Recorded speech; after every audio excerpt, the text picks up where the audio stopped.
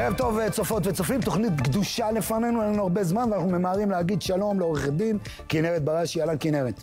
אהלן, מה נשמע? מצוין. תקשיבי, לפני שאנחנו מתחילים בתוכנית, בכל זאת עניין את אה, האולפן הפתוח, ו... ואמרנו כמה וכמה פעמים, אמנם, גם אתם עוסקים בתיק 3000, היום הפרקליטות מודיעה שאכן בחקירה אה, נחקרו דברים שקשורים בנתניהו, אבל הם לא היו צריכים לקבל אישור, והיועמ"ש ידע. כלומר, זה, זה באמת מותר להם להתנהל ככה? התשובה היא לא, גם לא לפי אה, חוק היסוד. זאת אומרת, צריך אישור כדי לחקור את ראש הממשלה, זה לא נעשה. אלדד יניב דווקא היה איתי בתוכנית אה, הקודמת שהייתי בה, ואמר, אה, אמר במפורש שאז הם אמרו שיש אישור לחקור ולעשות, והנה הפרקליטות משקרת, יוצא שהיא משקרת בפעם המי יודע כמה בתגובות שלה לנושא הזה, אבל תיק 3000 לא מתמצא, ואנחנו לא עוברים את המבוכה הנוספת לגבי תיקי האלפים אה, רק בעניין הזה, אלא גם בעדות של שייקה ברקת, ואם תרצה אני ארחיב לך מעט, אפרופו, אה, יש חשיפה אחרונה של התנועה לאיכות השלטון, איך הם מחייבים אנשים שרוצים לעבוד אצלם לצאת למחאות. אז אני אגיד לך משהו, ששייקה ברקת, אחד העדים בתיק 3000, שרק מביך את הפרקליטות פעם אחרי פעם, בכל דיון, בכל דיון שיש בעניין הזה, סיפר שהתנועה לאיכות השלטון הורידה אותו למטה בזמן הקורונה, בעודו תשוש מטיפול אה, שהוא קיבל למחלת הסרטן, לא מבין לא מימין לא משמאל, פרסה דפים על אה, מכסה המנוע והחתימה אותו על תצהיר כשהוא לא יודע את תוכנו. אגב, אני חייב לספר, אנחנו פה בתוכנית הבאנו גם את העובדות שאנשים, וזה אחד הדברים המדהימים, זה מראה כמה פרטאץ' יש בישראל. העסקה הגרמנית-מצרית התחילה בשנת 95, בזמן ממשלת רבין. אנחנו קיבלנו מהאמריקאים מטוסי F, משלוח נוסף של מטוסי F-15, והם קיבלו את האישור לקנות צוללות מגרמניה. היא הבשילה העסקה הזאת, שהתחילה ב-95, רק בשנת 2010. והידע הזה לא היה קיים בתוך המערכת. אני יודע שהדברים האלה הגיעו, הגיעו לתוך המערכת, אבל יאללה, בואו נתקדם. אני רוצה עוד משפט אחד על תיק 3000, יאללה, עוד משפט עוד אחד. משפט אני רק אספר לך ככה בהערת כן. אגב, שיש איזה שם שעולה בתיק 3000 על ידי שייקה ברקת, והשם הזה אולי יצלצל לך מוכר, אהוד ברק. אה, אז אהוד ברק בהתחלה מאוד התנגד לצוללת 6, אה, אבל אחר כך כשבא אליו שייקה ברקת שהעיד בפני השופטת שהוא מכר קרוב של אהוד ברק, פתאום זה השתנה והוא הסכים והוא... אני, את יודעת מה? את מזכירה, אם כבר אנחנו פה, אז רק נזכיר ששייקה ברקת הופך להיות נציג של, של, של הצוללות בתקופה שאהוד ברק הוא עדיין רמטכ"ל, ומי שמנכ"ל משרד הביטחון זה דוד עברי, אבל זה לפעם אחרת, נעשה, נתעסק בתוכנית הזאת. שנינו הרי אנחנו, אנחנו, בדיוק, אנחנו בפטיש על הדברים האלה, אבל לא כולם, אנחנו נכנסים פה לפרוזית. בואו נתחיל, זה לפינה הבאה שלנו, זה שעשועון מאוד מאוד נחמד, הברל היומי.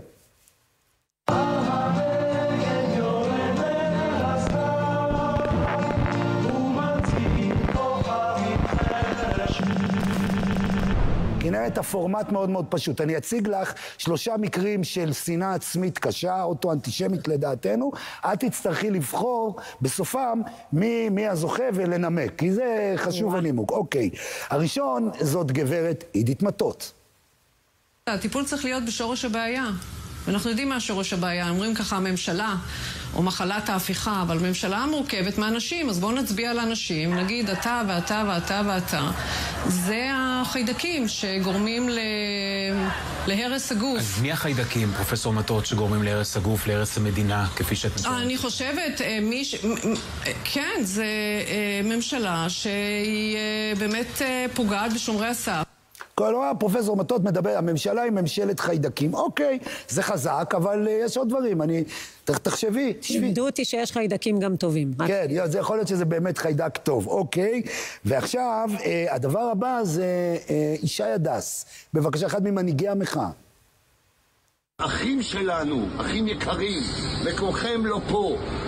זה לא, או, המקום הזה לא הופך להיות שדות הציד הנצחיים של המיסיונרים היהודים שרוצים לחדור לליבות ומוחות ילדינו ולקחת אותם להנחות תפילין ואהבת ישראל ואהבת הרבי מלובבי.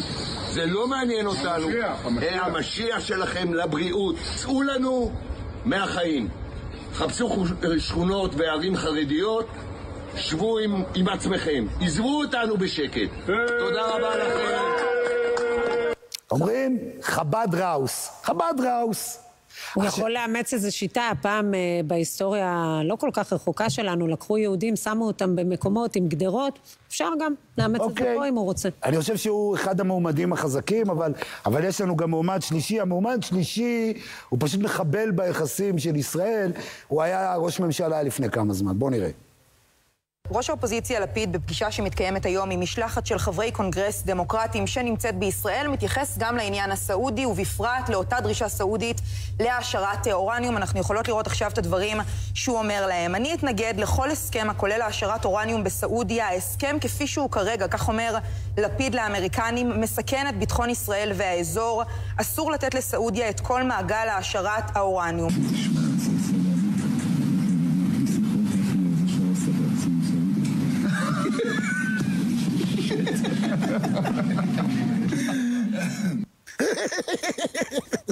כן, אה, כנרת, נתת אפשרויות יפות מאוד, כאילו... אני דווקא הולכת על פרופסור אה, מטות. כן, כן. אני חושבת שפרופסור אה, מטות.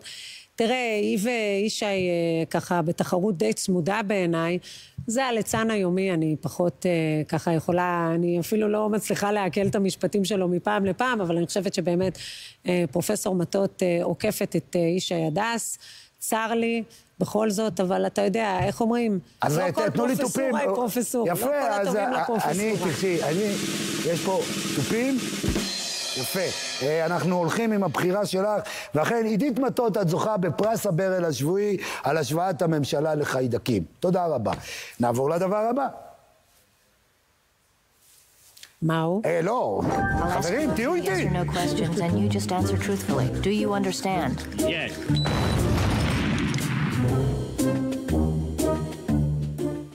אתמול יאיר לפיד דיבר על צבא העם.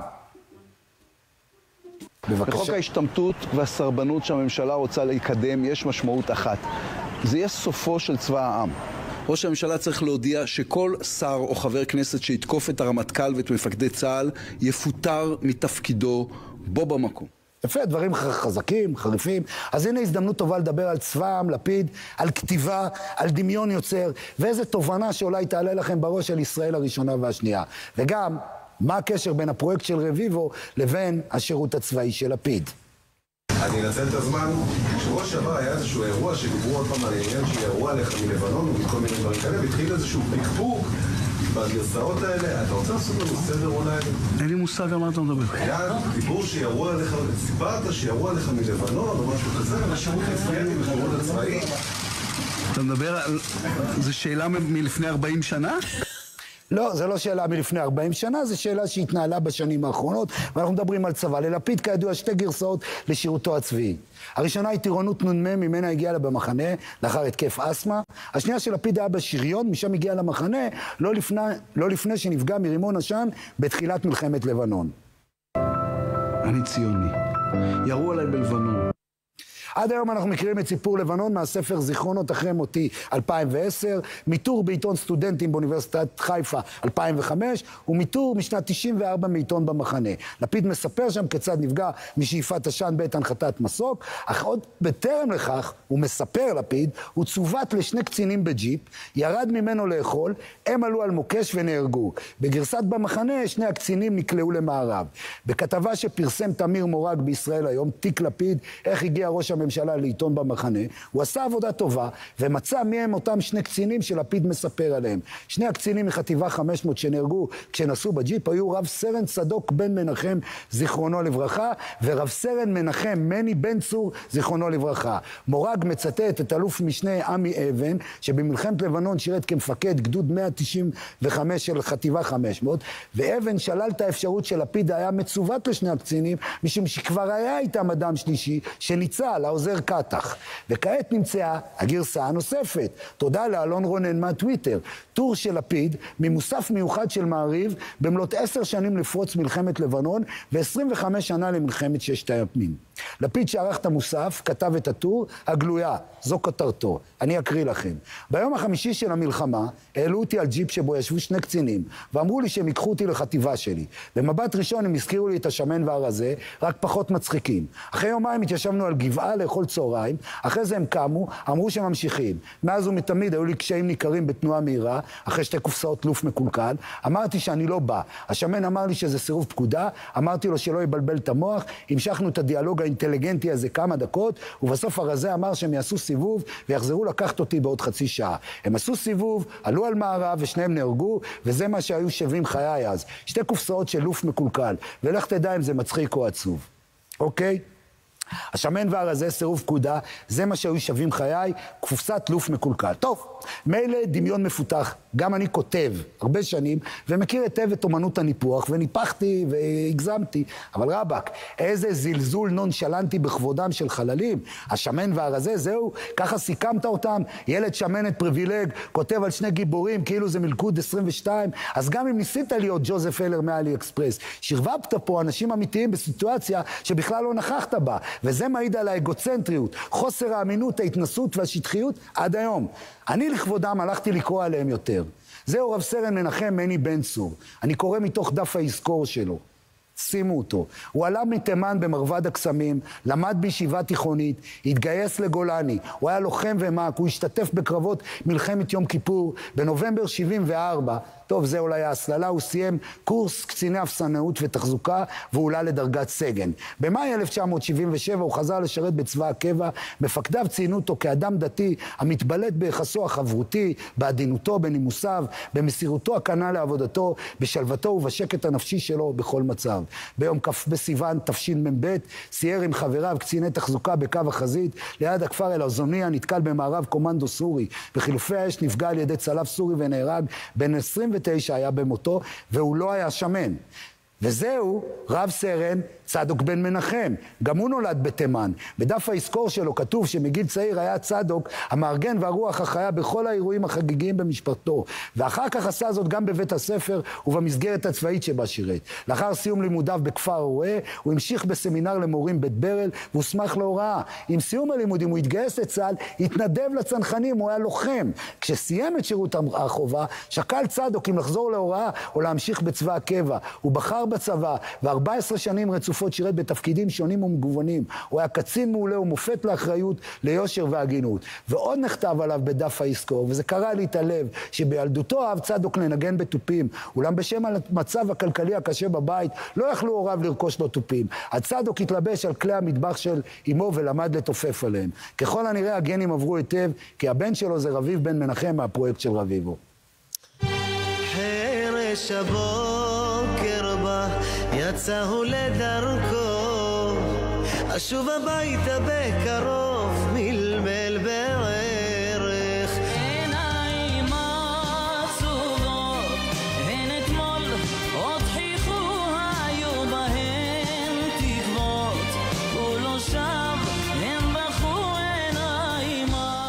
לפני שאת מגיבה, ואני יודע שאת עכשיו רותחת, כי את בת ל... את, את, את, את בת... אביך נהרג במלחמת יום כיפור, בדיוק כמו הלוחמים, הם היו לוחמים, אחר כך נהיו קציני תחזוקה, זו גם שאלה. אבל אני אומר, אני מאוד מאוד... הגעת בשם המשפחה שלהם קצת, או שבגלל זה הם לא קיבלו איזה כנפיים, או אני, לא... הוסללו לשם? אני לא אומר, אני רק אומר, תראי, אני נותן ללפיד את הנחת הבחור הצעיר. הוא היה צעיר. אבל אני באמת חושב שכאילו, הכתיבה, היא מעידה משהו. אתה לא משתמש באנשים, כי אתה בכלל לא היית איתם. לפיד לא השתמש באזרחי מדינת ישראל, אז פה הוא השתמש בשני חללי צה"ל, הוא השתמש בכל אזרחי מדינת ישראל בתקופה שהוא הקים את הממשלה הקודמת, הוא ממשיך להשתמש בהם עד היום כמגן אנושי לכישלון שלו. אני חושבת שמי שמועמד להיות ראש ממשלה ושואל שאלות לגבי השירות הצבאי שלו ולא מבין איך אפשר לשאול אותו שאלות לפני 40 שנה, אז אם יש לך בעיית זיכרון קלה, אז בוא נשים את זה על השולחן, ראש ממשלה אתה לא יכול להיות, זה דבר אחד. דבר שני, אולי כדאי שבערוץ 12 מהדהדים את כל המסרים שלו, המסרים המס... המסיתים, המפלגים ודי המזלזלים שלו, אולי כדאי קצת להכיר את האיש הזה. אני בטוחה שהם די מכירים אותו, הוא בכל זאת עבד שם לא מעט זמן. הייתי ממליצה באמת, קודם כל להכיר את האיש, אחר כך לפמפם אותו. אתה לא עושה טריק ספרותי על דבר, ספרותי על דבר כזה, זה מאוד מאוד הרגיז אותי, ולכן, אה, והיום... הוא חצה את כל הגבולות, אראל, זה לא... כן, אבל מכיוון שזה, בכל זאת, יש לזה, מדברים על שנת 92, כלומר, הוא היה צריך להיות משהו כמו בין 28-29, בגיל של הקצינים האלה שנהרגו, ו, ואין בכלל ספק, זה הקצינים, הסיפור היחידי מלבנון, שני קצינים של חטיבה 500, שנהרגו בהיתקלות עם קומנדו סורי, גם כן, בטעות, שלחו אותם לשם, הם יצאו ו, ונהרגו, זה הסיפור הזה, אין בכלל מחלוקת. אראל, הם ישבו מאחורי כל הקמפיין הזה שהיה אה, ליום הזיכרון אה, לחללי צה"ל. מדהים. אז אנחנו מדברים פה על... אבל אנחנו רגישים. אנחנו מאוד רגישים, אבל הם פחות. טוב, עכשיו לנושא, באותו עניין, רוצה להראות לך ציפי לבני בפורום 555, ואז מיד משהו שהיא אמרה בעבר. בבקשה.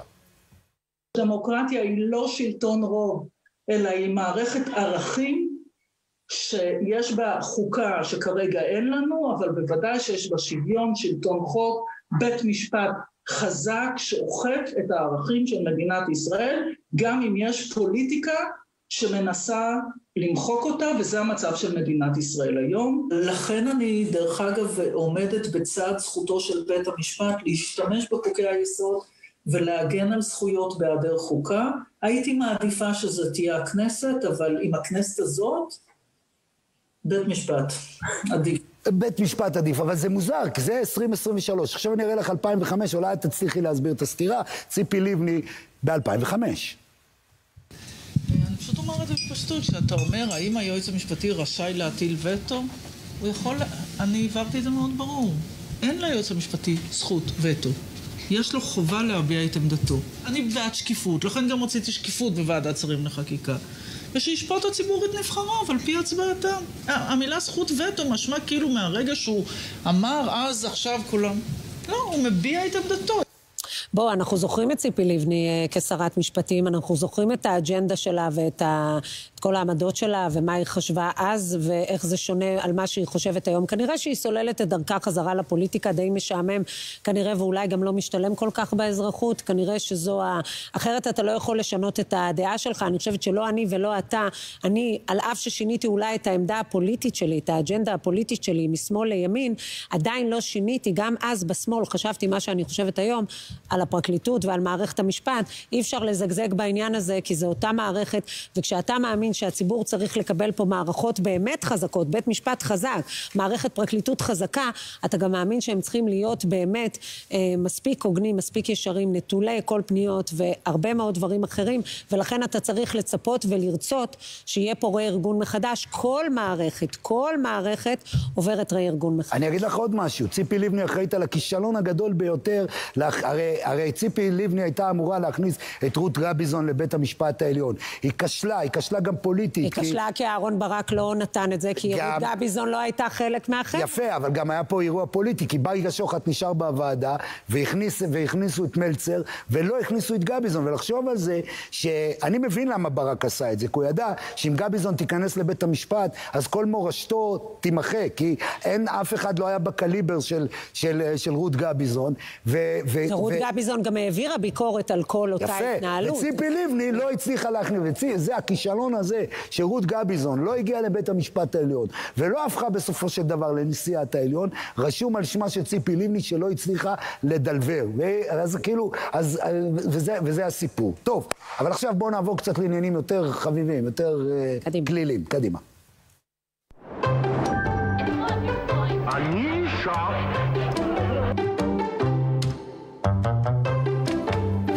אני רוצה להראות לך את אנה אנדרס, אה, היא טרנסית, תראו אותה גם, לנו יש אבל המשך, גם בפטריוטית, אה, אה, טרנסית ששוברת שיא בתחרות הרמה, אני אגיד לך למה אני אוהב הרמת משקולות.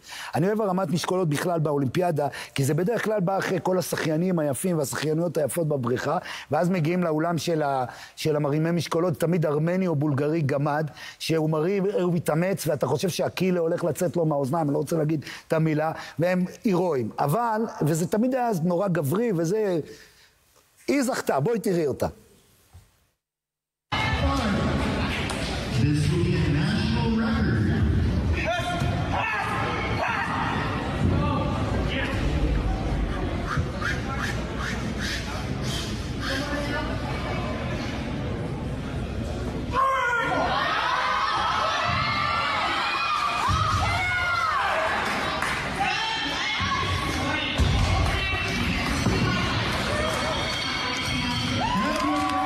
אוקיי, זכתה במקום ראשון, אבל למה זה מעניין? זה כבר הם הרבה טרנסג'נדרים זוכרים בעצם ב-200 קילו יותר מה, מהמתמודדת האישה הביולוגית. עכשיו, תראי מה היא אומרת על נשים בקטע של אימון. תסתכלי, זה ראיינו אותה, תראי. Um, why is women's bench so bad? I mean, not compared to me. We all know that I'm a tranny freak, so that doesn't count. And no, we're not talking about Mackenzie Lee. She's got little T-Rex arms and she's like 400 pounds of chest muscle, apparently. I mean, standard bench in powerlifting competition for women, I literally don't understand why it's so bad. והיא מתאמנת המון, בגלל זה היא חזקה, לא בגלל שהייתה פעם גבר עם שרירים של גבר וטסטסטרון. היית צריך להעמיד את שתי המתמודדות, אחת ליד השנייה. אני חושבת שזה מאוד משתלם לעשות, להיות טראנס וללכת לתחרות של נשים. זה הורג את הספורט הנשי בחלק מהמקומות, חלק עוצרים את זה, ובחלק פשוט, אף אישה לא יכולה להתמודד עם מסת שריר של גבר. אבל אפשר לעשות, בסך הכל, לחלק את התחרות, נשים, גברים, טראנסים. בוא נראה, אפשר גם. זה גם, אפשר צריך לקבל את זה, אין אבל, בעיה. אבל יש כבר כל כך הרבה, דמו- כבר כל כך הרבה זהויות, לדעתי לא יהיה מספיק זמן לאולימפיאדה. טוב, עכשיו כדי שנסיים בעוד משהו מעניין, משהו היסטורי, דוח היסטורי. בבקשה. אומרים שהיה פה שמח לפני שנולדתי והכל היה פשוט נפלא החודש ב-1947 האימפריה הבריטית עוזבת את הודו ובעצם את תת היבשת. בזמן שהיא עוזבת יש שם 30 אלף חיילים בריטים. לשם השוואה, בארץ ישראל המנדטורית יש 80 אלף חיילים בריטים בגלל האצ"ל והלח"י, שאף אחד לא איתר. מיד אחרי העזיבה יש קרבות, אה, יש טרנספר של 4 מיליון משני צידי, משני צידי הגבול. נהרגו כחצי מיליון אנשים במלחמה בין אה, פקיסטן להודו. אבל אני רוצה להראות לך משהו יפה. כל ערב, זו האטרקציה החמישית, ב... התיירותית החמישית בהודו, בגבול בין הודו לפקיסטן יש טקס סמלי, תראי אותו. אחד הדברים הכי מצחיקים שיש, בבקשה.